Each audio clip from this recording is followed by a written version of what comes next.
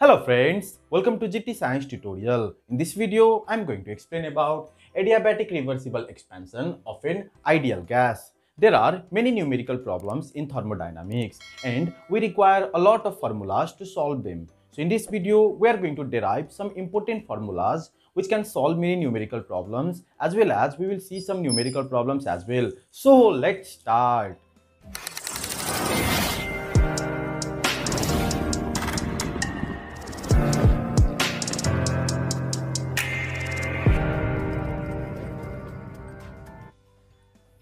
Let us consider some ideal gas is kept in a cylinder having weightless and frictionless piston. This is that weightless and frictionless piston. Here it is, the ideal gas is kept in it. The pressure of this ideal gas is P, the volume is V and internal energy is, yes you are correct, E. Now we are considering the wall to be adiabatic. This wall is adiabatic wall.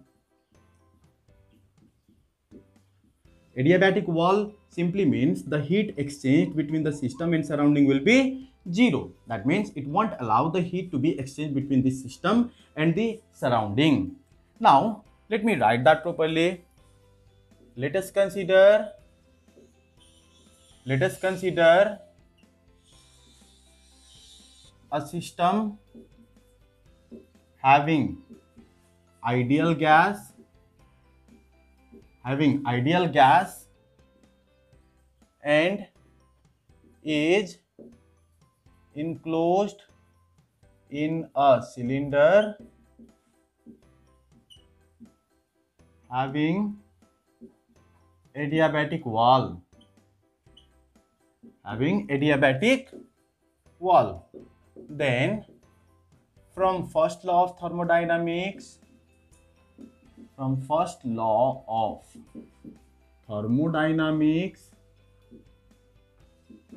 we know that the first law of thermodynamics is dq will be equal to dE plus dW that means the sum of change in internal energy and the sum of work change in work done is simply equal to the amount of heat supplied to the system. Now in this particular case since dq is equal to 0 so we can write dE is equal to minus dW. This is equation number 1. In place of dW we can simply write minus pdV. So pdV. So this whole is equation number 1. Now we know that in this expansion work as we are talking about expansion so when the gas is expanded it does certain work done. And when it does certain work done the value of dv or simply the value of dw is positive. Let me write that.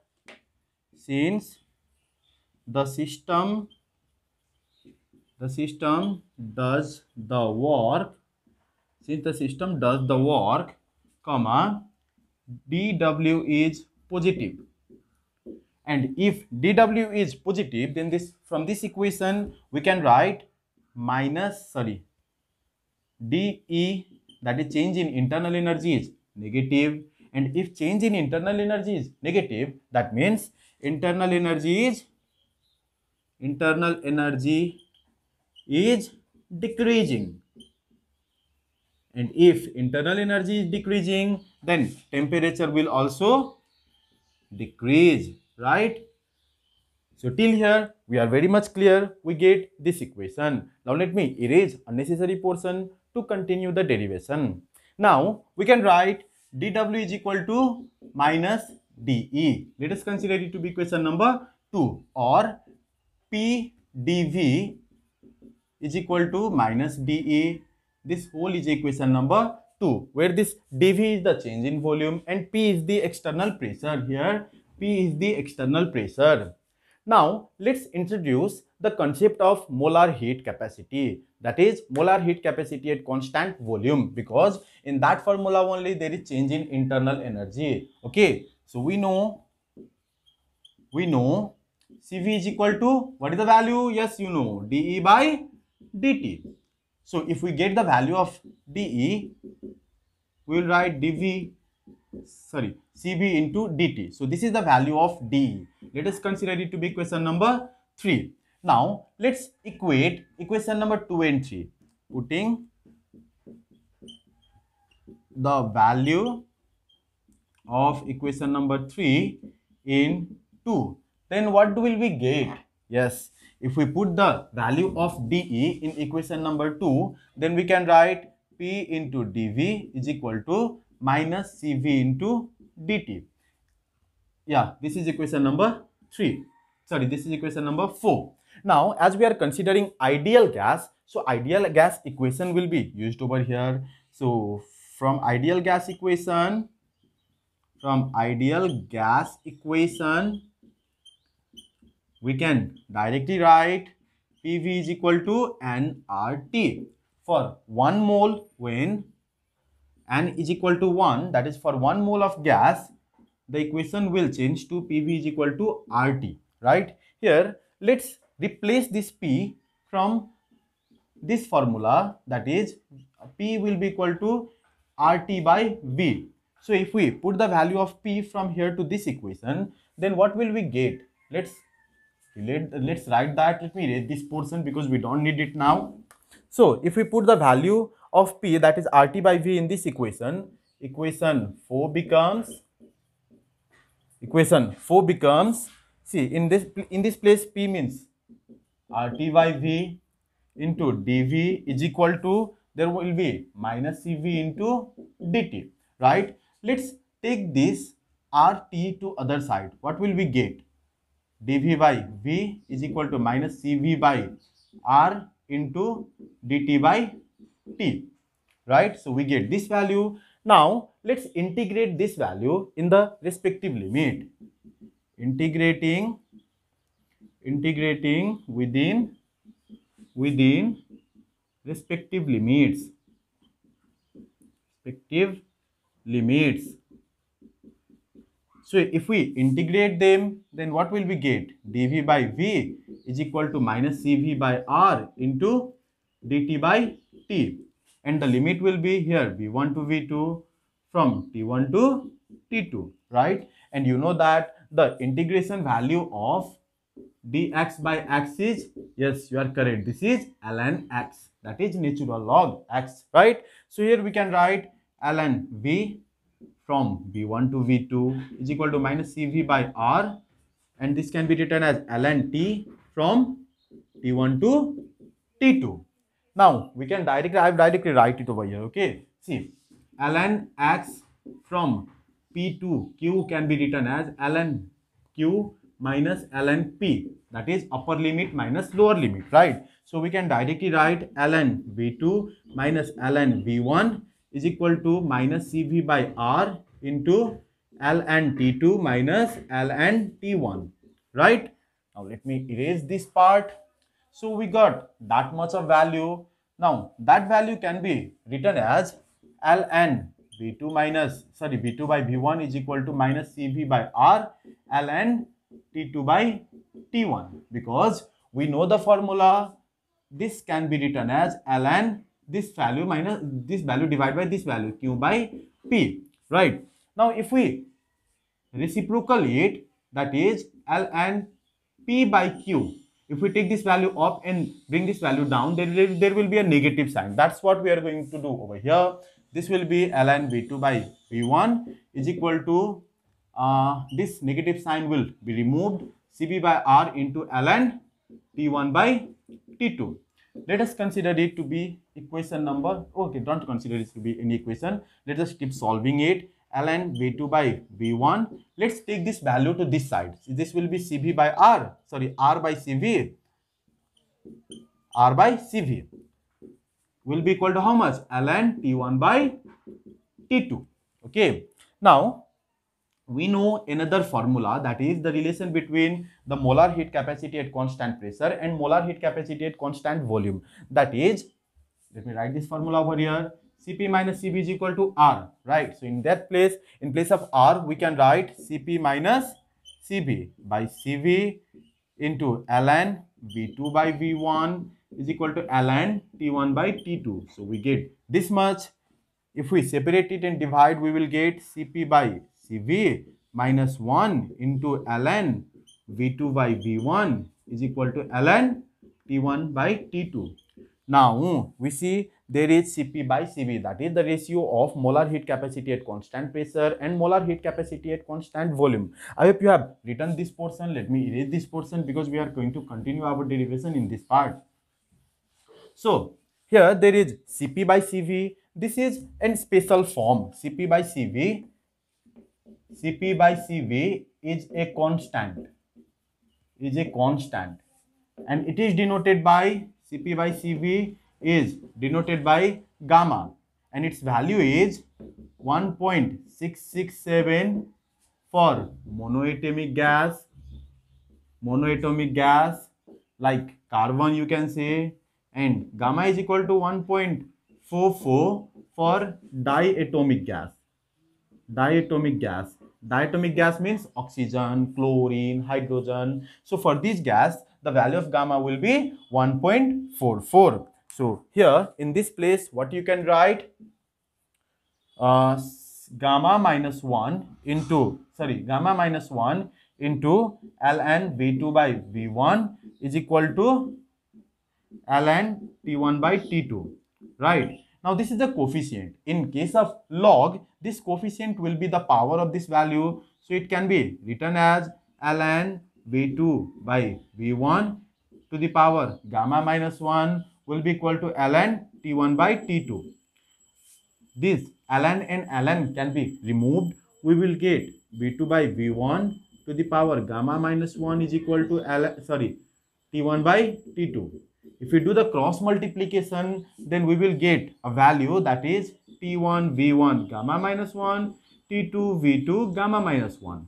And if in the both side there is same value, then we can write TV gamma minus 1 to be a constant quantity.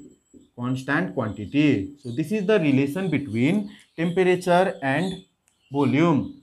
Relation between relation between temperature and volume.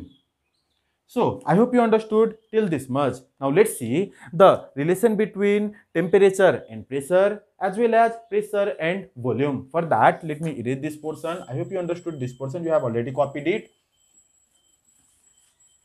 We can simply get other relations just by replacing one of the variable from that expression. So, we know that from ideal gas equation, PV is equal to RT we let's replace this t. If we get uh, try to find out the value of t we will get pv by r is equal to t right? So what will be the value? In place of t we can write pv by r into there is v to the power gamma minus 1 is equal to it is a constant right? Now this r will go to that side. r is itself a constant universal gas constant. So it will become a constant again. So it will be p into v to the power 1 plus gamma minus 1 simple. The product law of indices. And r will go to other side. It will also become a constant. So therefore p v gamma will be a constant. This is another formula or you can simply write p1 v1 gamma is equal to p2 v2 gamma. So p1 v1 gamma is a sorry pv to the power gamma is a constant. This is relation between relation between yes you are correct pressure and volume. Now one more relation is remaining that is the relation between temperature and pressure. To get that let's replace this v from this equation. Let me read this portion. Similarly from ideal gas equation we can get the value of v. From here if we get the value of v then what will we get? The value of V will be equal to RT by P, right? So let's put that value in place of the uh, this V, let's put this value, okay? So what will we get? In place of V, P into, in place of this V, let's put this value that is RT by P gamma is equal to a constant. This is the value that we have, right? Now, let's solve it. P into R gamma into t to the power gamma by p to the power gamma is equal to a constant, right? Now, this r to the power gamma is itself a constant quantity. If we take it to other side, this will again become a constant quantity. So, it can be written as T gamma into P to the power, the power of this P is 1. If we go to up, this will be 1 minus gamma is equal to a constant. So, this is a relation between temperature and pressure or we can simply write T1 gamma into P1 1 minus gamma is equal to T2 gamma into P2 1 minus gamma. So, this is another relation between temperature and pressure. That is relation between between temperature and pressure. So, these are some of the relation that are very important to solve many numerical problems in thermodynamics.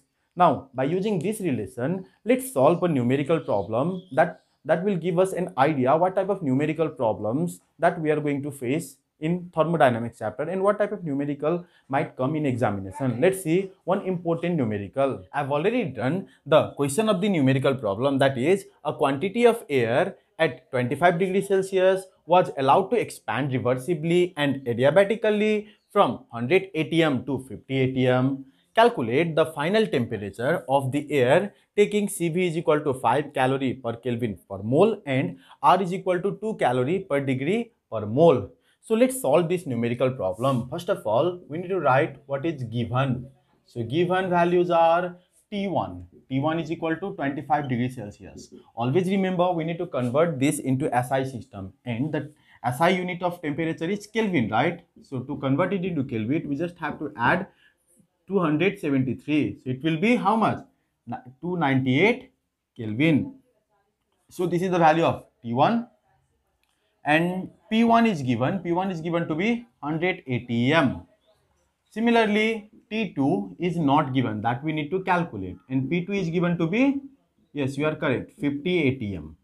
And two more values are given that is Cp, sorry Cv is given to be 5 calorie per Kelvin per mole and R is given to be 2 calorie per degree per mole. Right? So these are the given values. Now to get the value of T2, we need to use the formula T1 gamma into P1 1 minus gamma is equal to T2 gamma into P2 1 minus gamma. For that, we need to find out the value of gamma. And we know that gamma is simply the ratio of molar heat capacity at constant pressure to the molar heat capacity at constant volume. So to get the value of gamma, we need to find out the value of P. So there is another relation that we know that is Cp is minus Cv is equal to R, right? So let's put the values now. In place of this Cv, we need to put 5 is equal to 2. Then therefore Cp will be equal to 5 plus 2 will be equal to 7. So here we got the value of Cp to be 7. Now Let's find out the value of gamma that is Cp by Cv. So how much will it be? 7 by 5, right? Because the value of Cv is given to be 5. Now, if we divide, we'll get 1.4. That means we are talking about some diatomic molecule. Because for monoatomic molecule, the value of gamma was 1.667. Okay. Now, let's put the value now. We know, we know what is the formula of what is the what is the formula that relates temperature and pressure? T1 gamma into P1 1 minus gamma is equal to T2 gamma into P2 1 minus gamma right? This was the relation that we derived earlier. Now to get the value of T2 let's put this T1 gamma to other side. Then we can write like if we take this value to this side the powers are same so we can write the common power and we will get this type of form. 1 minus gamma is equal to T2 by T1 to the power gamma, right? Now let's take this gamma to this side, the power will divide it, right? So P1 by P2 gamma, sorry 1 minus gamma by gamma will be equal to how much? T2 by T1. Now if we do the cross multiplication, we just have to take this T1 to this side. So it will be therefore T2 is equal to T1 into P1 by P2 1 minus gamma by gamma. Now let's put the values. In place of T1, how much do we need to put? Uh, yes, you are correct, 298 because the value of temperature is 298 Kelvin into P1. P1 is 100 atm, P2 is 58 atm and the value of gamma is 1, uh, 1 minus 1.4 by 1.4. So if you put this value then we can directly get let me write the value directly over here the value will be 244.4 Kelvin if you put this on calculator you will directly get this much of value so this is the value of final temperature of the system so this type of numerical problems are frequently asked in the examination you can prepare it properly now that's all in this video. I hope you understood everything about this video. If you like the video, please share this video as much as you can and thank you for watching the video.